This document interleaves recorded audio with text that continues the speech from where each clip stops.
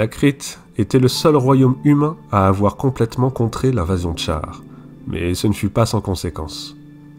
Les Ascaloniens découvrirent de leurs propres yeux les changements opérés à la tête du pays. Pour la première fois de leur histoire, les humains n'étaient pas gouvernés par un descendant du roi dorique. C'est le blanc manteau qui tenait désormais les rênes de l'Arche du Lion et du royaume. Pire encore, la foi des cinq, commune à tous les peuples humains de ce monde depuis des millénaires, avait été reléguée au second plan. Sous l'impulsion du blanc manteau, les chrétiens s'adonnaient maintenant au culte des invisibles, les sauveurs du royaume. Le royaume avait beau être de nouveau en paix, la situation n'était pas pour autant rayonnante. Les côtes de Crite subissaient les assauts incessants de créatures horrifiques, tout droit sorties des cauchemars les plus effroyables.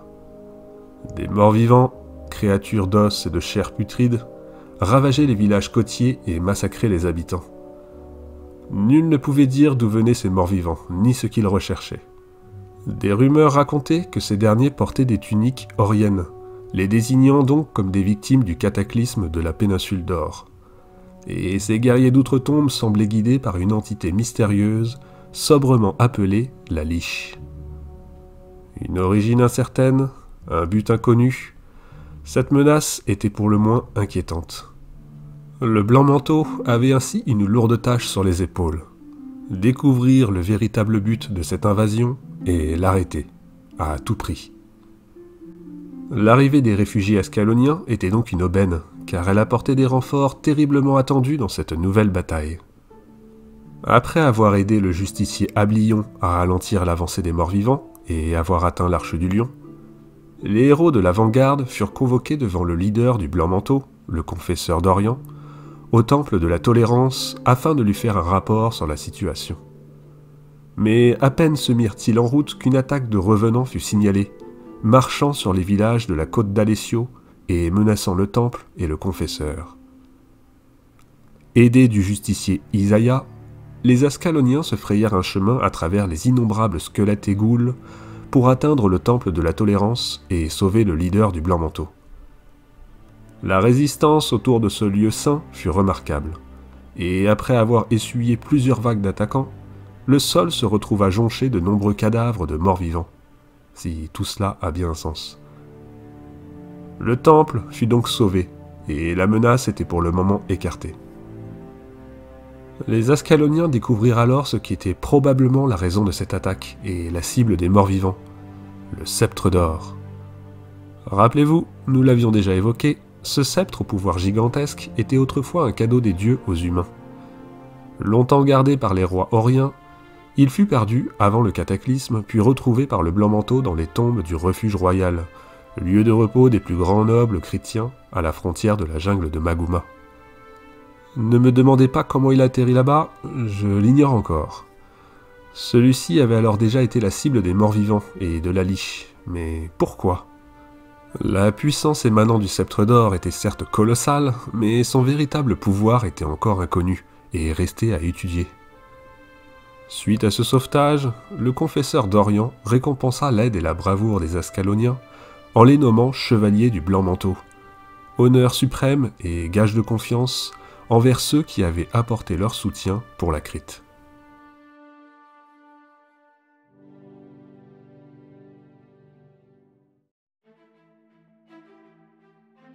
Admis au sein de l'ordre du blanc manteau, les Ascaloniens eurent également l'immense privilège d'être choisis pour participer au rituel le plus sacré de l'ordre, le test de l'élu.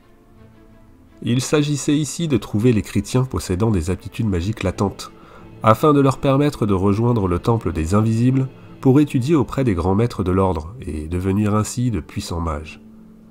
Les nouveaux chevaliers du blanc manteau se rendirent donc au nord de la Crite, sur la côte des divinités, là où les plus anciens colons de Crite se sont installés des siècles plus tôt, à proximité de la cuvette du géant, cet immense lac d'eau salée qui fit le bonheur de nombreux pêcheurs.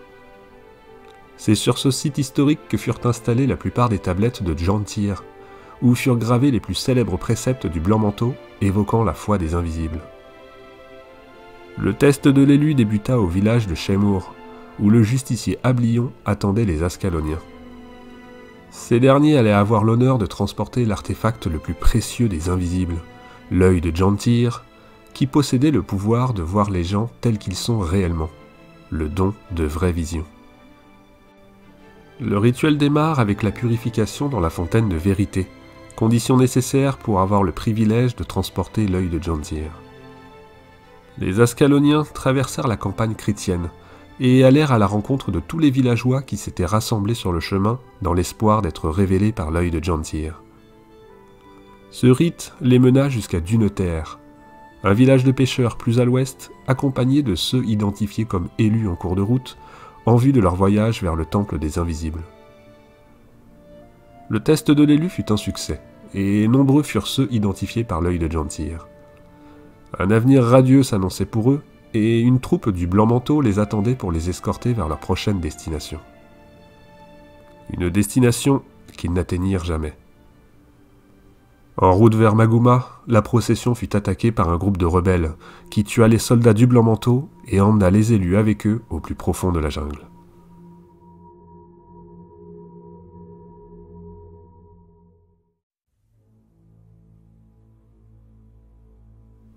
La situation était critique. Les élus avaient été enlevés et le rituel sacré du blanc manteau bafoué. Le justicier Thomis, l'un des fondateurs du blanc manteau, était fou de rage. Le confesseur et le haut conseil de l'ordre perdaient du temps à discuter et à débattre des mesures à prendre, alors que son frère, qui faisait partie de l'escorte des élus, avait été tué. Impatient d'en découdre, il ordonna à tous les fidèles de traquer et éradiquer les rebelles, et bien entendu, les Ascaloniens furent fortement encouragés à rejoindre la traque en plein cœur des contrées sauvages de Maguma. La jungle de Maguma. Cette immense région est à la fois magnifique et dangereuse. Bien que nommée jungle, une grande partie de sa géographie est en fait composée de déserts arides, où seule la végétation la plus robuste peut subsister et où les canyons serpentent autour de maigres plans d'eau qui forment les rares oasis de la région. La jungle se distingue également par ses forêts luxuriantes, si denses que le sol n'aurait jamais été touché par les rayons du soleil, et abrite des créatures dangereuses comme des trolls ou des plantes voraces. Maguma abrite également un mystère, celui des druides. Ces humains, adorateurs de la déesse de la nature Mélandrou, se seraient retirés de la civilisation pour se rendre dans la jungle et y vivre en harmonie avec les éléments.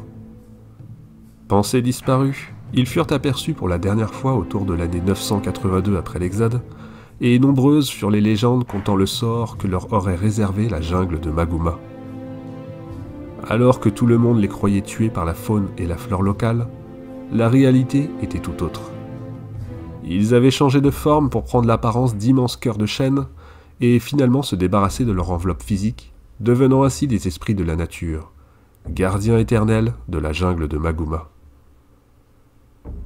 C'est dans cette atmosphère enchantée et mystérieuse que les Ascaloniens partirent à la recherche des rebelles et des élus capturés, traversant la forêt et ses ponts de vignes, et se confrontant aux multiples dangers que la jungle abritait, comme les insectes géants et autres centaures de la tribu Arati.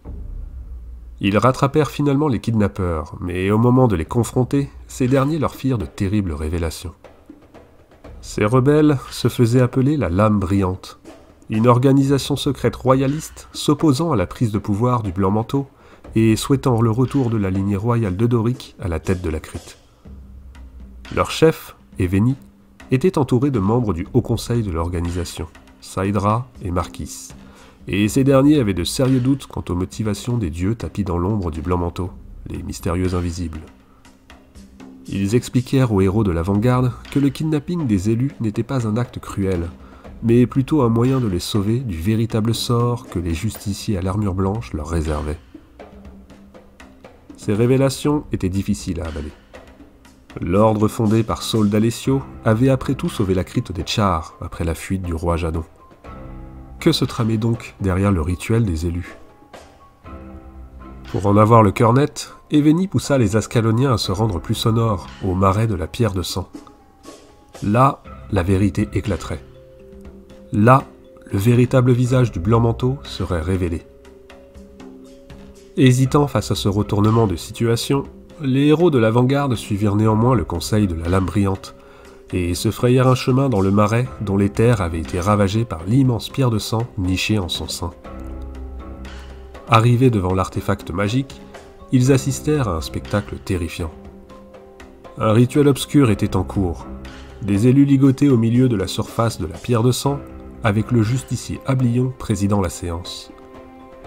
Au terme d'un sombre discours, ce dernier assassina les élus, laissant leurs âmes être aspirées et scellées dans des batteries magiques. Se sentant trahis et fous de rage devant cette cruauté, les Ascaloniens se ruèrent sur leur ancien compagnon et l'engagèrent au sommet de la pierre de sang. Un terrible combat s'ensuivit, au terme duquel Ablion succomba, terrassé par la colère de ceux qui l'avaient guidé peu de temps auparavant. La lame brillante avait donc raison. Sous ses apparences de sauveur, le blanc manteau orchestrait en secret de sombres machinations, et le test de l'élu n'était en réalité qu'une supercherie, amenant des innocents chrétiens à finir sacrifiés sur l'autel de faux dieux. La Crite était certes menacée, mais c'est en son cœur que le mal la rongeait. Un mal qui portait une robe blanche tissée de fils d'or.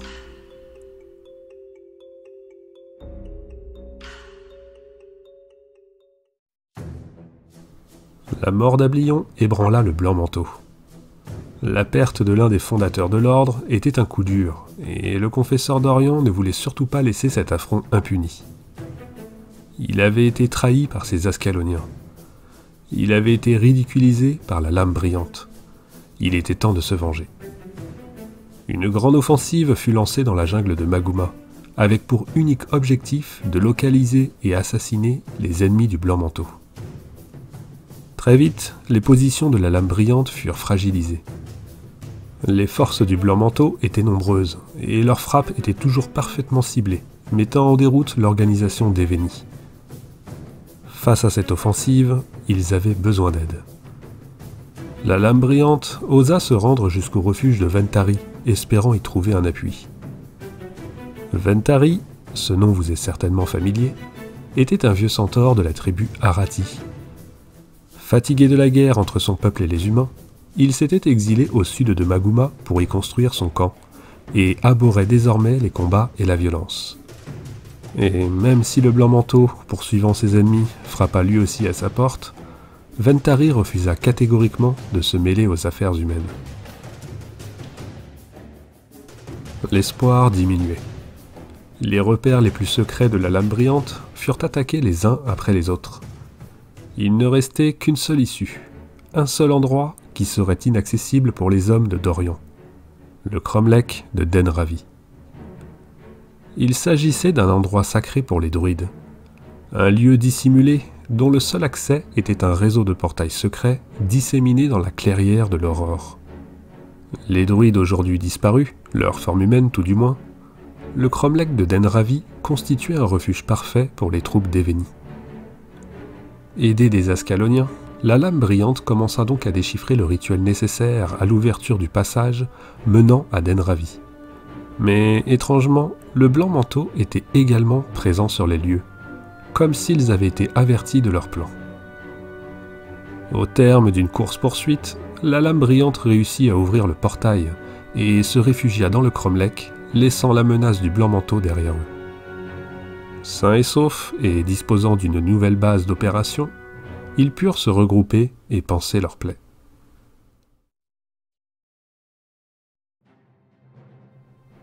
Profitant d'un temps de répit, Eveni mit en place une stratégie visant à détruire le blanc manteau une bonne fois pour toutes. La lame brillante avait un nouvel allié, et pas n'importe lequel. Un puissant mage capable de faire pencher la balance. Le vizir Kilbron. Oui, celui-là même qui avait provoqué le cataclysme engloutissant Or dans les bas-fonds lors de l'invasion de Char.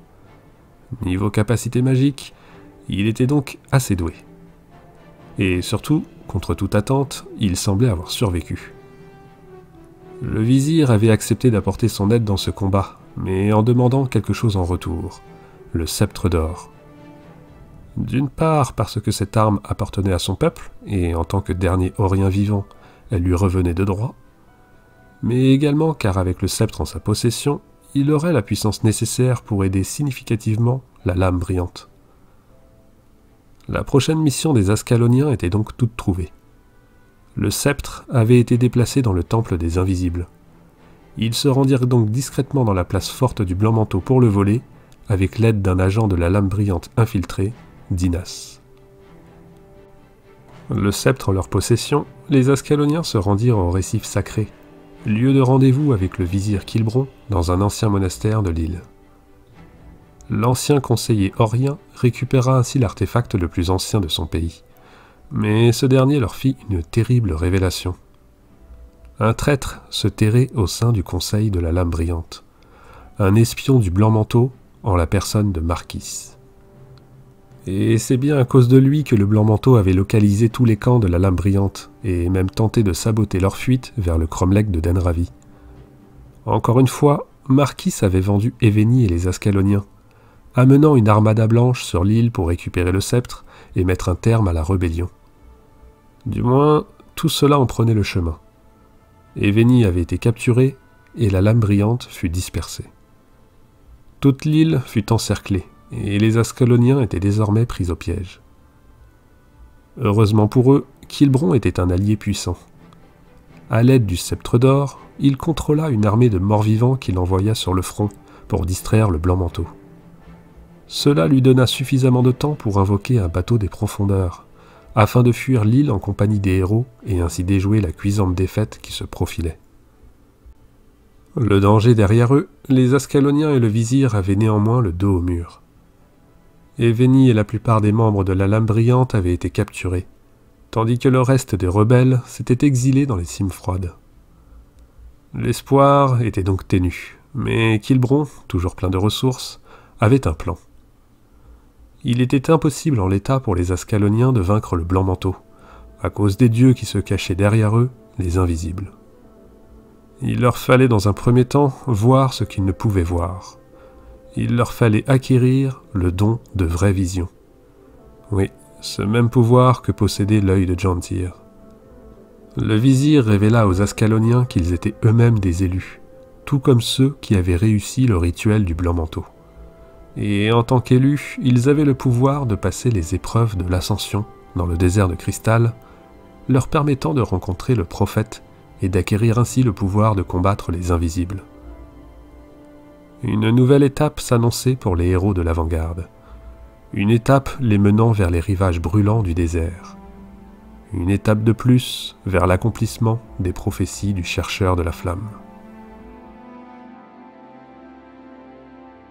Voici la fin de la première partie du chapitre 18, résumant les événements de Guild Wars Prophecy. Comme vous pouvez le constater, il y a plein de choses à dire. J'envisageais un moment de traiter toute l'histoire en une seule vidéo, mais ça aurait été peut-être un peu beaucoup. La seconde partie sera la suite et fin de l'intrigue, on arrive au bout, et j'ai déjà hâte d'y être. Merci à tous, on se revoit prochainement. A très bientôt, salut.